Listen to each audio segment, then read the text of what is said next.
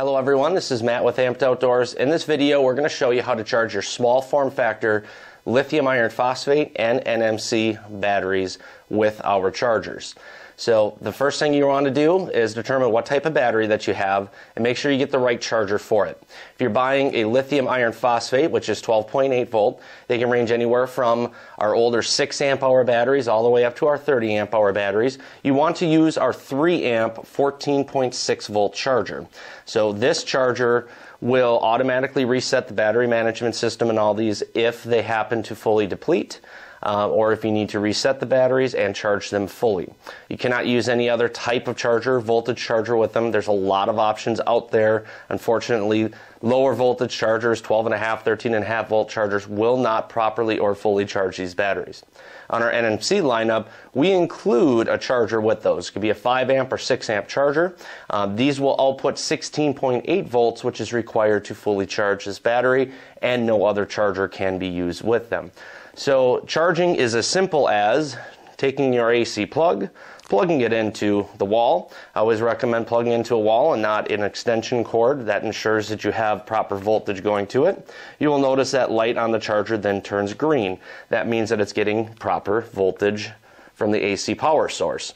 From there, you can connect either your alligator clips to this and connect that directly to the battery.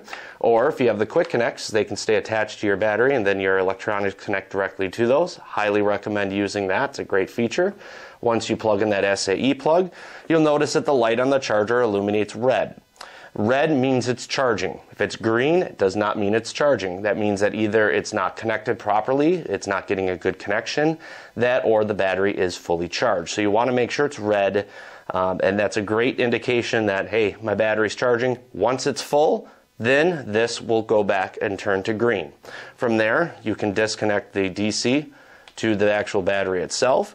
You'll notice it's still green. Always disconnect your AC power source when you're done charging. It's not a good idea to keep these connected to the wall all the time. Just adds more wear and tear on that charger. The NMC chargers work the exact same way. You Plug it in, plug it into the battery, lights red when charging. When it's full, it will turn green, indicating it's fully charged.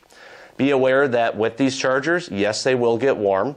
You are converting voltage and they will get a little warm. We have safety feature built into them so that way if they get to a certain temperature, they'll decrease the amount of amperage output on them to cool the charger down itself.